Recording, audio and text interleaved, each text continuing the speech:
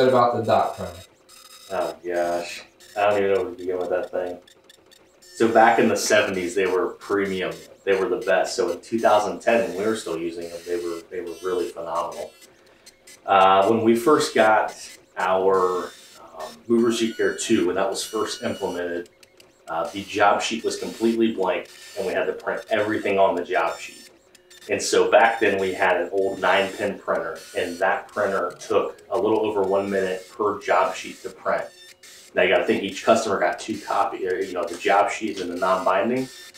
So altogether, it took two hours to print in the middle of the summer. Um, so doing the schedule in the middle of the summer was amazing.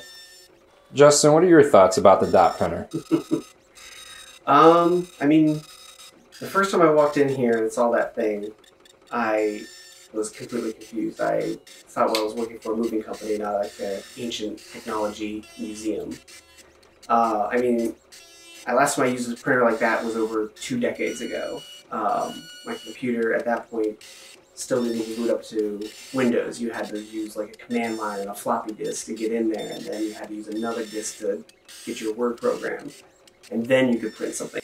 Um, and then we really stepped up and got a 24 pin printer, um, which made very little difference and uh, was was even more expensive for not much difference in quality and especially sound. You can't hear anything when those things are going off. Um, Worst part is the sound, the noise it would make, the screeching and just things grinding and pulling.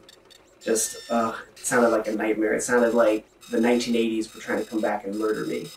you couldn't be on the phone if this thing was running. We drilled holes through the office floor and ran cables out to the hallway because you, you, couldn't hear anything, you couldn't meet with anybody. It was uh, literally one of the worst things ever. Uh, bumped it while it was moving, broken. Um, if you sent it to the wrong paper size, done. Uh, if you looked at it weird on Tuesday, just done. It, uh, just completely broken. And then it wasn't even just a simple off and on or a reset. You had to take the whole thing apart, unplug everything, respool the paper, put it all back together, and then maybe, maybe The one story I have is that the the day it just stopped working in the middle of summer, and we literally had to handwrite everything on the job sheet for a middle of the summer day in 2012 or 13, whatever that was. Uh, it was it was absolutely the worst experience. it's ridiculous.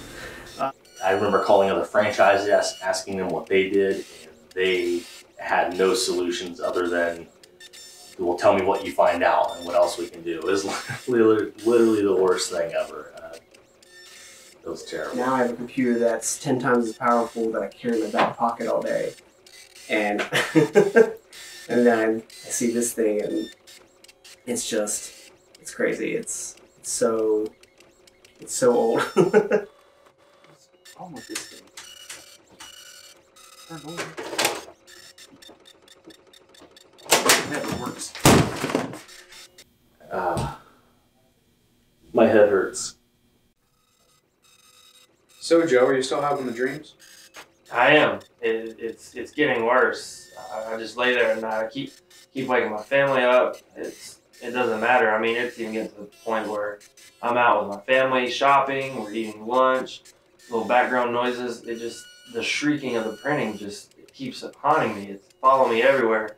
I'm losing sleep. It's affecting my work. I, I don't know what else to do. I mean, Doc, is there anything I can do? Please help me. I might have a solution. Follow me.